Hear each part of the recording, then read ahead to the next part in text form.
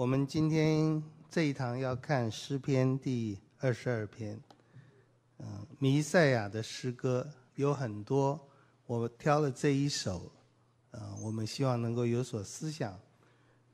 第一节，我的神，我的神，为什么离弃我？为什么远离不救我？不听我哀哼的言语？呃，我们先要想一想，跟这段经文有关，跟诗篇有关。跟我们整个读圣经的态度有关的，或者跟我们生活都有关的，就是这个我是谁？嗯，我是谁？这应该不成问题。我就是作者嘛。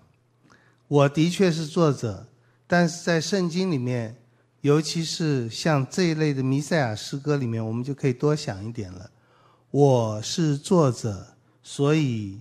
如果我们照那个标题来看的话，这个我就是大卫，啊，这就是作者。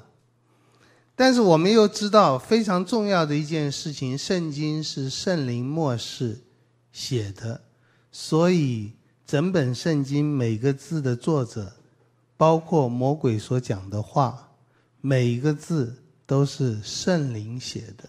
那么这有一点复杂，不过我们说这话。只不过是要肯定圣经的权威。圣经的作者，我是那个人的作者大卫，也是圣灵。那么，当我们进到弥赛亚的诗歌的时候，就又再复杂一点了。那个我就不只是三位一体的第三位圣灵，也是三位一体的第二位，就是圣子。因为我们知道这句话，以及圣经里面很多的话，旧约里面很多的话，只不过弥赛亚诗歌里特别多。那个我是应验在耶稣的身上，所以我是大卫，是作者，我是圣灵，我是圣子。那么还有没有？可以就停在这里吗？嗯，不能停在这里。就某个意义来讲，如果不进到第四点的话，我们完全没有了解圣经或者诗篇。诗篇里面包括这一篇，这个我不只是作者，也是读者。嗯，这一篇我们马上希望能体会。下一篇你就更能体会了，在诗篇二十三篇里面，我们都熟悉耶和华是我的牧者。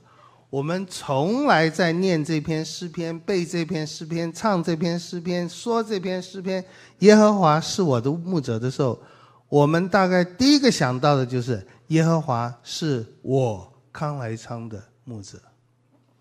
就是圣经里面，包括弥赛亚的诗歌里面。我们常常需要读到一件事，就是我们教主日学都会教的，讲道也会讲的，就这个事，这段经文跟我有什么关系？耶和华是大卫的牧者，哦，很好啊。耶和华是不是我的牧者？我们觉得这个部分很重要。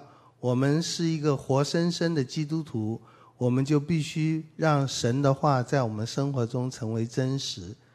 只是这些应用要稍微小心一点，哪些时候可以用在我们身上，哪些时候不宜用在我们身上。如果用在我们身上的时候，有的时候那个我又会扩大到我们，就是包括在诗篇里面，包括在诗篇二十二篇第一节说我的神，然后第四节我们的祖宗。作者有我，作者有我们。我们在看圣经的时候，我们这些 reader，我们这些读者有 response，有反应。我们的反应不只是个人的经验，很多时候是必须是教会的经验，是整个以色列的经验。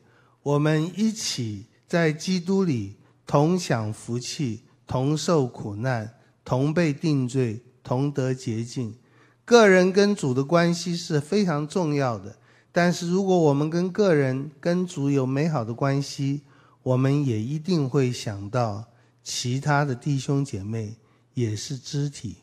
这个我每次都会提一下，在圣餐的时候，保罗在哥林多前书讲这句话：你们吃这饼，喝这杯，若不分辨是主的身体，就是吃喝自己的罪了。我们通常都会想到，我们在吃喝那个饼杯的时候，要对饼杯的成分。那是主的身体，不管是什么意义的主的身体、主的血，那是真实的。好，我们通常注意这一点，然后我们也有很多的讨论。可是保罗在那里的意思，绝不只是指着那个饼和杯，就某个意义来讲是耶稣的身体、耶稣的血。保罗也在说，你们吃喝的时候要分辨，要清楚，要确定。要知道，吃喝的人都是主的身体。因此，我们在吃喝的时候、圣餐的时候，不只是我跟主耶稣奇妙的关系很感动，甚至不只是我跟主耶稣过去的关系，他为我的罪而死了，让我痛哭流涕、热泪满眶，也让我很欢喜快乐，在吃喝的时候。等候他的再来，也不只是我个人的现在、过去、将来，也是弟兄姐妹一起的现在、过去、将来。我们在看圣经的时候，包括看弥赛亚诗歌的时候，包括在看这段诗歌的时候，记得那个我是大卫，有历史的意义；是圣灵，有神的权威；是圣子，有上帝的爱；是读者。是我有亲切的交通，是教会，是所有的神的儿女，我的神。我们信靠的神，耶和华三位一体的真神，他是神，他伟大，他至大。这个世界还没有，诸山未曾造成，地狱世界你没有造成，你从亘古到永远，你是神。你你在我们人不能理解，但是勉强用话语来表达的，你在时间空间都还没有的时候，你就是神。我们想象不了这种事，但是我们相信，从永远到永远，你是神，你伟大，你不需要我们，这个世界没有，我们没有，教会没有，那个时候，所谓的时候，你就是神。三位一体的真神永远自给自足、互信互爱，美好无比。但是因着我们不理解的理由，照神学讲法，就是上帝的爱，他决定要创造一个世界，他决定要创造你我，而且他决定要拯救你我。也就是说，他不只是独一的真神。他要成为我们的神，就是他希望跟我们这弱小的、无用的、他不需要的、得罪他、惹他怒气的，或者根本是有千万天使比我们更好的，他希望跟我们有约的关系。我们跟神有约的关系，他要做我们的神，我们要做他的子民。于是他拣选了以色列，他拣选了我们这些基督徒。我们以他为神，我们非常有福，是世人是罪人没有的福气。神打开了我们的眼睛，打开了我们的心，让我们认识他，看到他丰丰满满有恩典有真理，也看到而且继续看到。我们何等的贫穷可怜！如果我们没有他，我们何等贫穷可怜，甚至是虚空的；而如果我们有他，我们是多么的丰富！不要把这些话当作属灵的美词，这是真实的。愿每一个人，包括我这做牧师的，任何一个时候，常常看到、时时看到，我们如果没有主的空虚和败坏，人所有的罪恶，个人和团体的罪恶，教会和以色列的罪恶，都是觉得不大需要神了，忘记神了。你还不必恨神，你还不必抵挡神。当我们慢慢忘记神的时候，就很不好了。我们求主让我们始终知道神是我的神，是我们的神。是跟我们立约的，是永远爱我们的，是白白的爱我们的，是爱我们就爱我们到底的，是创造我们，是拯救我们。神差他的儿子来是要救我们的，因为他要把自己的百姓从罪恶中救出来。这是天使对约瑟讲的话，给他起名叫耶稣，他要把。自己的百姓从罪恶中救出来。这个神是我们的救主，这个神也是我们的王。在马太福音讲到耶稣降生的事的时候，除了我刚才引的天使对约瑟说，他要把他的百姓从罪恶中救出来，耶稣来到人间是拯救我们的。另外一方面，就没有提到救字了。耶稣来救我们，我们到耶稣那里去干嘛？在马太福音第一章里面讲到一个字：我们到耶稣那里敬拜他。那生下来做犹太人之王的在哪里？我们在东方看见他的心。要来拜他，希律也要骗这个，虽然是骗，但他也这样讲。这群博士说：“你们找到那个小孩子，就告诉我，我也好去拜他。”他们到了那个小孩子在的房子里，他们就看到玛利亚和那婴孩。而圣经写的很很妙，看到婴孩和玛利亚，他们就拜那婴孩，没有拜玛利亚，拜献上黄金、乳香、莫药。我们的神是来救我们的，我们到他那里去是敬拜他，是奉献，是侍奉，是爱他，等等。我们跟他有非常亲密的关系。但是这一篇诗篇里面，居然一开始就讲我的神，我的神，为什么离弃我？就我所知道，这篇诗篇在这几十年最熟悉的句子、最常听见的句子，是第三节下半句：“你以以色列的赞美为宝座。”你以以色列的赞美为宝座，以教会的赞美为宝座，让我们赞美他，感谢他，因为他创造、拯救，作为奇妙。可是，我们常常忽略的第一节是：神离弃我们。我的神，我的神，为什么离弃我？嗯，有这句话在。而且这是耶稣在十字架上说的，所以这是有名的弥赛亚的诗篇。为什么远离，不救我，不听我哀哼的言语？我们如果看，各位回想到我一开始讲的这句话是什么意思？先想这是谁写的？应该有好几个作者，这是大卫写的。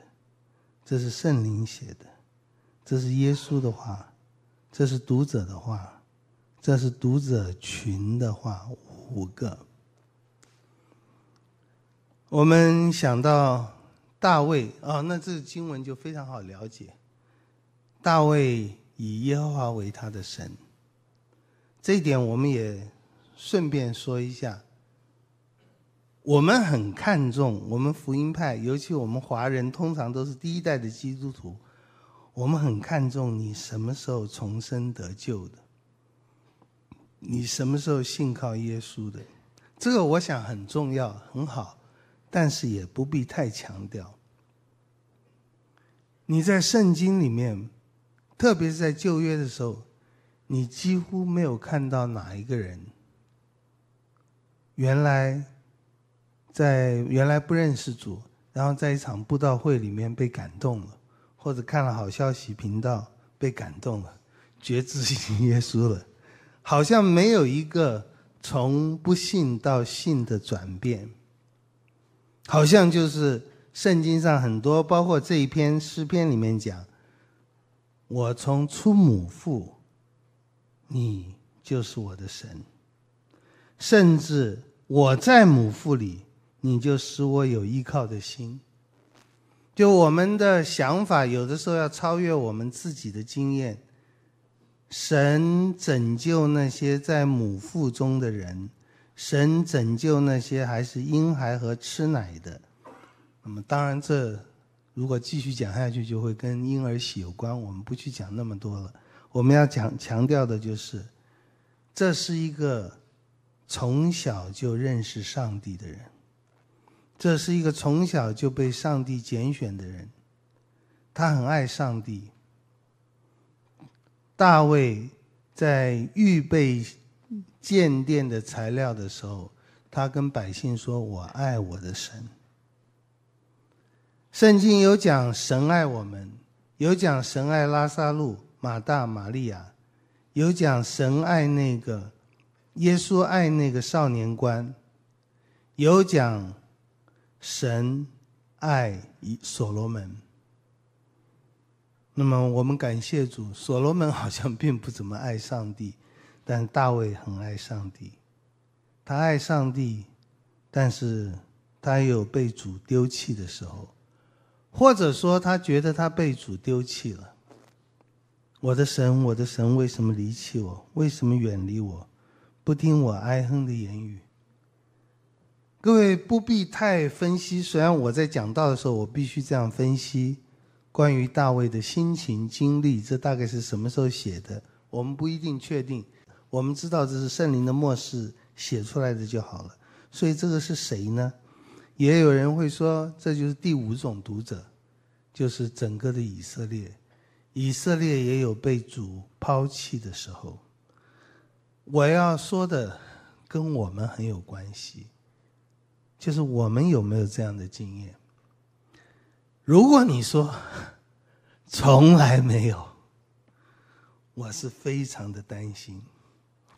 你从来不觉得被主抛弃？我应该很为你高兴才对，哇！你跟主关系这么好啊，但是我很担心，因为跟主关系好的人，从来没有被主抛弃的人，一定有过被主抛弃的感觉。主不会抛弃我们的，主永远爱我们，任何事情、任何时候、任何遭遇都爱我们，但是我们会感觉他抛弃我们了。耶稣在十字架上就是最好的例子，在神不仅是抛弃耶稣、最远离耶稣，事实上，照以赛亚书讲的，他击打他，耶和华鞭伤他，耶和华把愤怒浇在他的身上，不只是离弃，是愤怒。那么我们会经历这些事，有的时候。像大卫晚年或者是比较后期的逃亡，他被他儿子追杀的时候，大卫的被神抛弃，或者孤单，或者寂寞，或者害怕，或者恐惧，或者祈求，好像都没有果效的时候，你大概可以说，这跟他的罪有关系。或者说，他遭遇这些是神对他的惩罚。但是他在早期的时候，他的逃亡，他的可怜，他的如丧家之犬，他没有人帮助他。那是扫罗的罪，不是他的罪。各位不必太去分析你生活中现在遭遇的横逆，是你犯罪还是谁犯罪？我说不必太，因为圣经没有叫我们太去反省到底我在哪一件事上做错了？这个是一个好的儒家的信徒会做的。吾日三省吾身。我们想，刚才出门的时候摔了一跤，是因为我做错什么事？各位，不必太反省这些事，多思想神的慈爱和怜悯。我说的是太，不是说不要。我不知道怎么样表达的最清楚。不过我们要表达的就是这句话。是耶稣说的，是大卫说的，也是我们会说的。我们需要知道，不管是我们犯罪，是别人犯罪，在生活中，这位永远爱我们、常相左右、不离开我们的主，在每件事上带领我们的主，会有让我们感觉被抛弃的时候。会有的。如果你从来没有这种感觉，恐怕是你从来没有亲近过他，你不知道什么叫被抛弃。我们有艰难的时候，我们的婚姻、我们的家庭、我们的子女、我们的父母、我们自己的身体，常常会有让我们觉得：主啊，你为什么不理我？不但不理我，而且越走越远。不但越走越远，还越来越对我愤怒。我很可怜，你要救我。我白日呼求你，你不应允；夜间呼求，并不助声。他没有停过。当然，这里面很多都是文学的表达，但是应该也是正确的表达了一个属神的人在孤单、寂寞、难过。痛苦的时候，向上帝的呼求。各位，这就是我们要学的了。这就是耶稣的拯救中也写出来的榜样。当神不理你的时候，或者你觉得神不理你的时候，不管是你犯罪了，或者是别人犯罪了，当你莫名其妙或者有原因受到这样那样打击的时候，而神是沉默的，好像远藤周作写的那个书的名名字“沉默”。神没有反应，神不理你，或者事实上用诗篇二十二篇，或者是以赛亚书讲的，耶和华定义将他压伤，我们怎么办？各位就要像耶稣一样，就要像大卫一样。就要像历世历代神的儿女一样，求主帮助我们。你不理我，我可是不停止向你呼求。各位，神不会不理你的，求主帮助你，千万不要不理上帝。大卫的了不起，或者作者的了不起，或者耶稣的了不起，就是在。我的神，我的神，为什么离弃我、远离我的时候，他继续呼求神。我们继续信下去，我们的神，你继续白日黑夜都呼求，继续甚至颂赞赞美他，甚至想到过去的往事，我们的祖宗依靠你，他们依靠你，你便解救他们；他们哀求你。便蒙解救，他们依靠你就不羞愧。你这样带领他们，那样带领他们。我们也听过以前的事，好像基甸碰到耶和华的使者的时候，耶和华使者说：“大能的勇士啊，我问你的，耶和华与你同在了。”基甸一一盆冷水浇回去：“耶和华与我同在，与我们同在。我们今天怎么这么惨？”这个人很有 guts。我们怎么会这样？啊，耶和华的使者也很有 guts，他不回答。你们为什么遇到这样？我才不告诉你为什么呢！我告诉你，你现在要做什么？耶和华要用你来救以色列人。好，不管我们是不是，当我们碰到艰难困苦、一帆风顺，任何一个时候，让我们都向神呼求，赞美他，感谢他，求告他。也许不一定是很激情的，但是一定是真实的。一定是有圣灵在我们心中，把神的话放在我们心里，对他说：“你是圣洁的，我赞美你。”我记得我们的祖宗，我们的教会，我们碰到这些困难，我们有好的神学，希望有，希望圣灵帮助我们在艰难的时候仍然向他呼求，诉说神如何恩待教会，但是我们也始终不会忘记，因为我们是人呐。你曾经做过那么多伟大的事。甚至我们也会说：“你曾经在我的生活中做过多伟大的事，我的婚姻、我的家庭、我的身体、我的儿女、父母出过多大的问题，你救了我。即使这样，现在，现在你不理我哎。”第六节，但我是从不是人被众人羞辱，被百姓藐视，凡看见我的都嗤笑我。他们撇嘴摇头说：“他把自己交托耶和华，耶和华可以救他吧？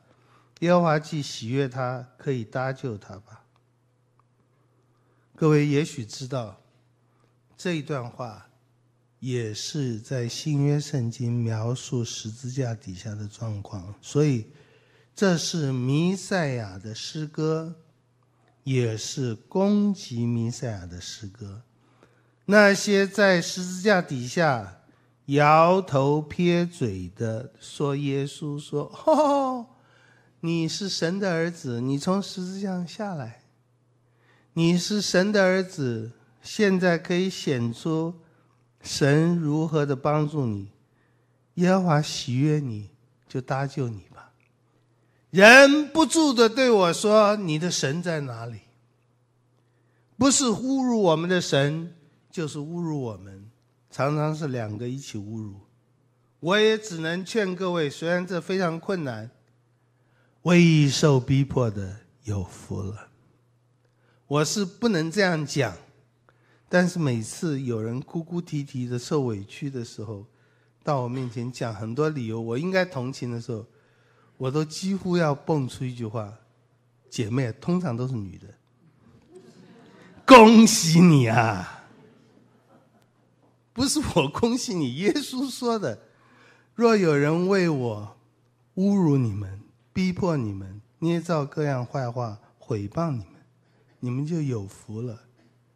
应当哭哭啼啼，应当泪流满面，应当。”欢喜快乐，你要笑。当然我知道笑不出来了。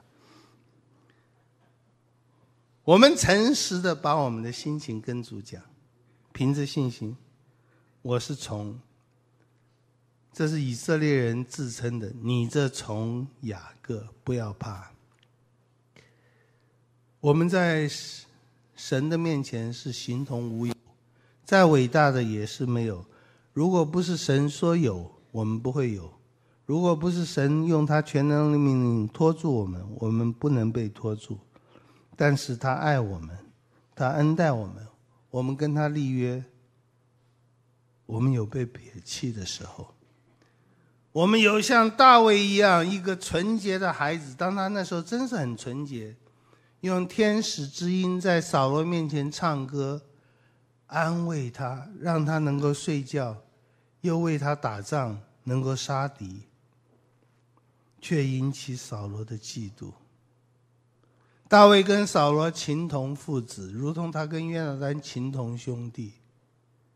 他痛苦，扫罗抵挡他。也有一些人，我们通常忽略了，在大卫那个生平里面，扫罗追杀他的时候，大卫有一次说：“如果有人挑拨离间，要你攻击我，愿什么什么什么。”有，有一个以东人就是这样。我们有的时候真的希望神替我们伸冤，神没有伸冤，神继续让我们听见别人讥笑的话。你如果是神的儿子，怎么会在十字架上呢？神可以救你吧？你把自己交托耶和华，可以救你吧。但你是叫我出母腹的，我在母怀里，你就使我有依靠的心。这句话也求主帮助我们。也许有一些文学上的描述，但是应该也是真实的。施洗约翰在母腹中就会因着问安的话跳动，所以 小孩子可以认识神的。神使我们有依靠的心。我说这话要有很大的信心，尤其去教那个幼稚。幼稚班的那个调皮捣蛋的，这都是小魔鬼嘛？哪里是依靠上帝的？我从出母胎就被交在你手里。出母胎接接这个 baby 的手不是助产士的，是耶和华的。从我母亲生我，你就是我的神。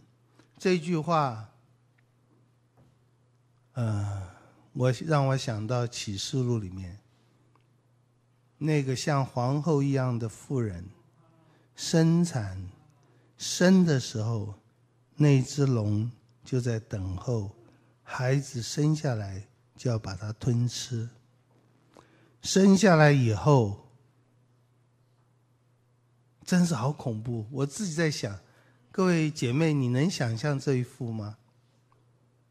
你在产房。痛死了，终于小孩要生出来了，头出来了，身体出来了，全身都快要出来了。你突然看到，在墙角有一只狮子，虎视眈眈的盯着那个 baby，准备一出来就把它吃掉。你怎么办？又收不回去了。当我们传福音，当我们自己成为一个新生儿生下来的时候，是在母腹中神就保守我们，但是在母腹中魔鬼也开始攻击我们。雅各和他哥哥在母腹中就相争。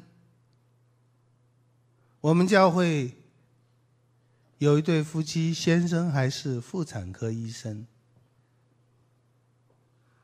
太太。生孩子有一次就是一个孩子脐带绕颈，那是母亲的脐带，怎么会绕到最爱的儿子的身上？这是一个意外。问题是我们基督徒不觉得有意外，这些事情都是我们没有办法回答的，或者说我们不知道怎么说才能安慰人，但是我们有这样的答案。神在我们做做 baby 的时候，就跟我们同在。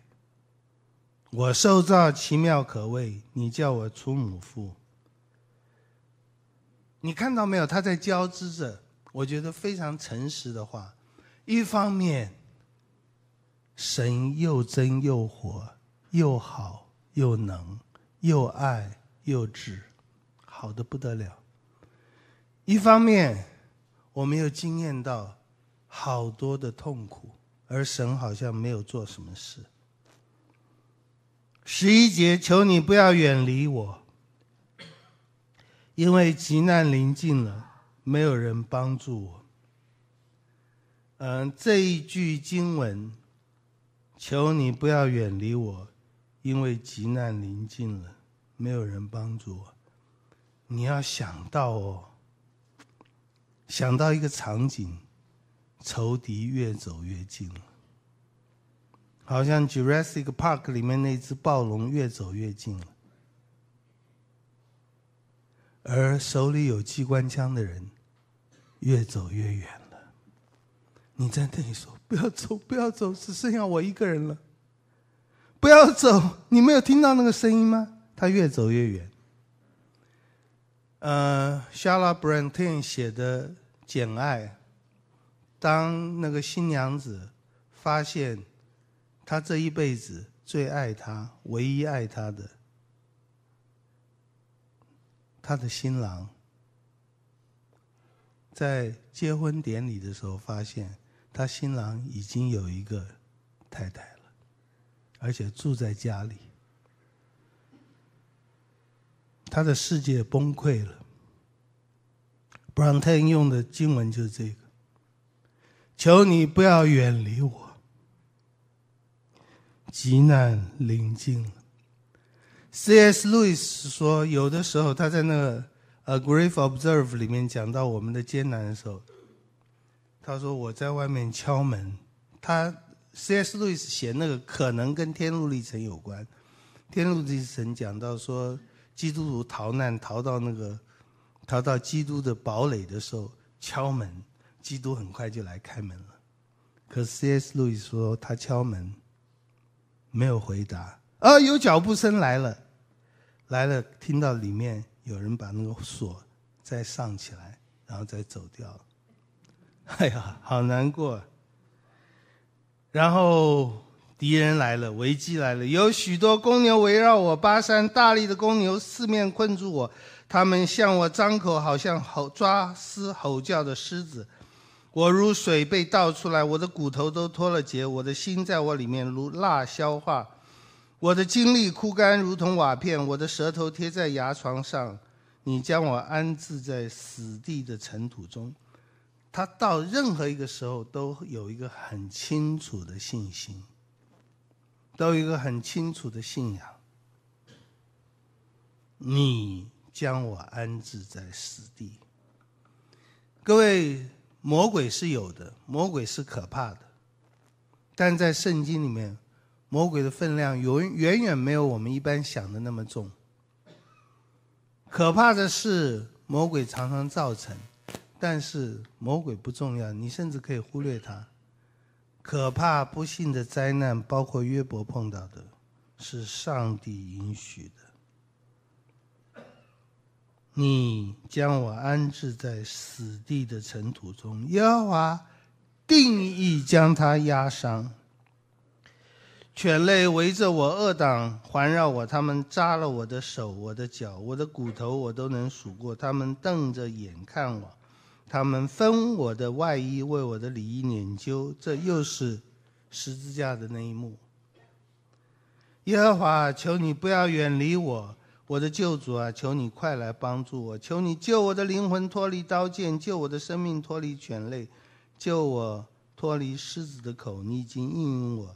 使我脱离野牛的脚，我，大卫，啊，感谢主，大卫是脱离了，不管是扫罗或者其他的叛叛逆，他脱离了。我们还可以想到很多以色列和教会的先圣先贤，他们也碰到艰难，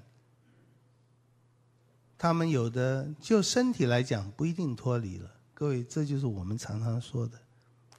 到底我们的身体会经历多少的痛苦艰难？这个对不起，也不太重要。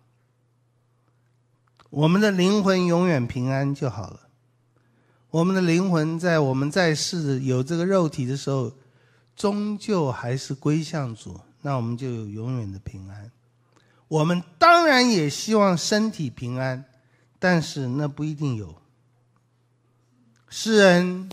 就写他呼求神，在很多的艰难中呼求神，好像有一个很 drastic、很戏剧性的转变，到二十二节就变好了，灾难就没有了。二十二节，我要将你的名传于我的弟兄，在会中我要赞美你，你们敬畏耶和华的人要赞美他。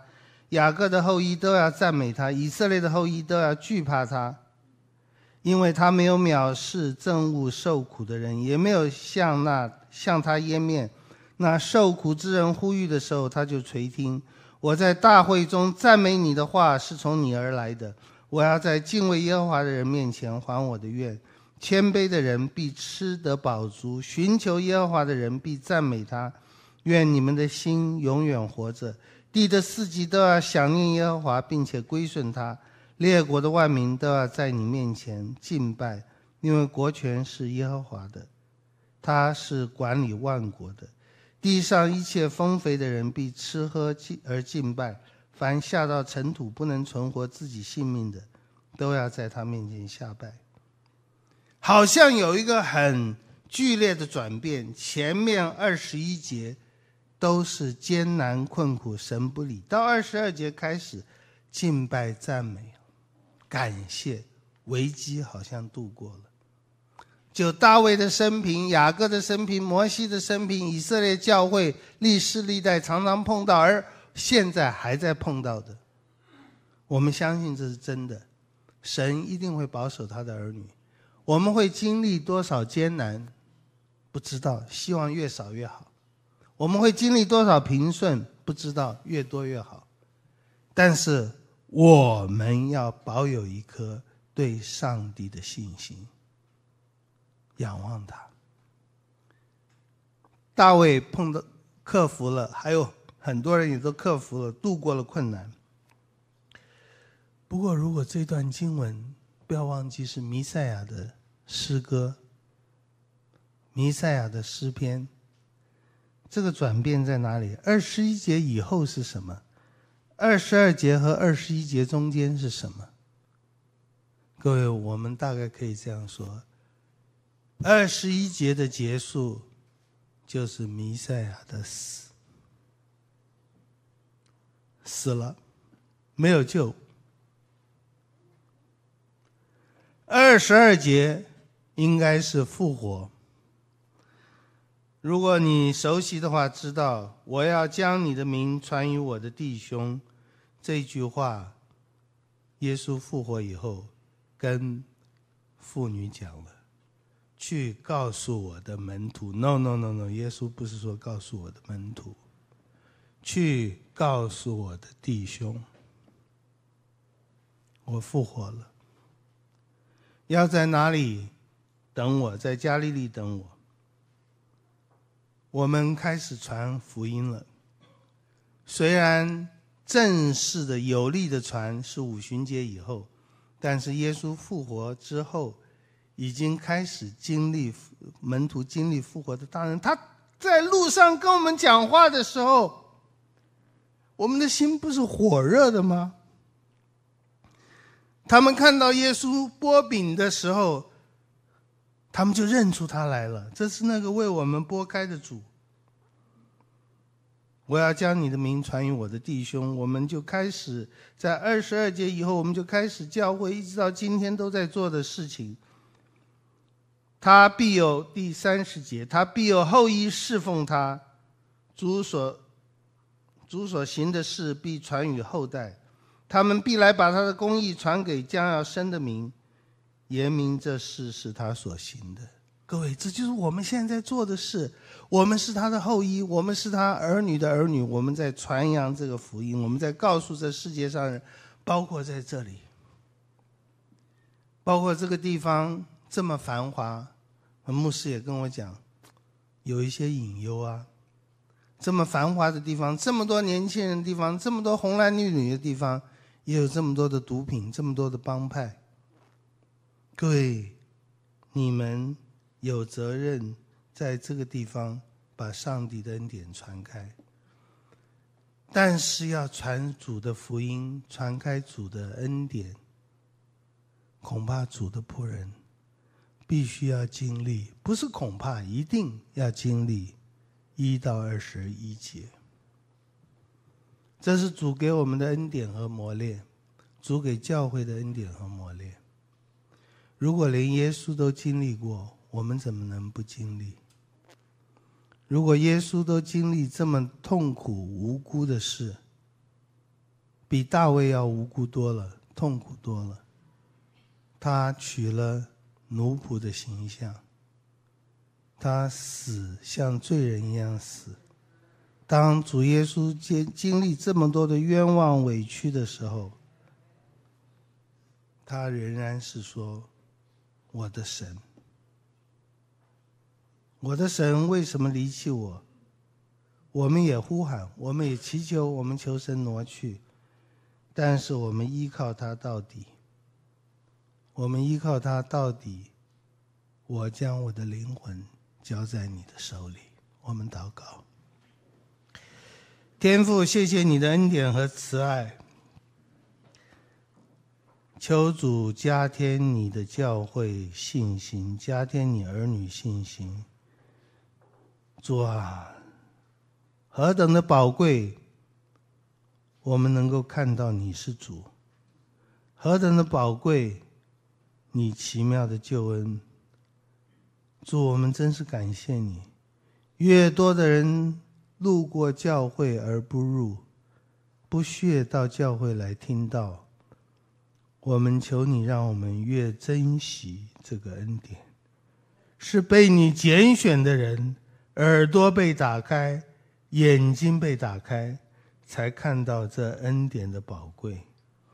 主啊，继续常常恩待我们，使我们的眼睛不是只有惊鸿一瞥的闪亮过，让我们继续能看到你的荣耀美好。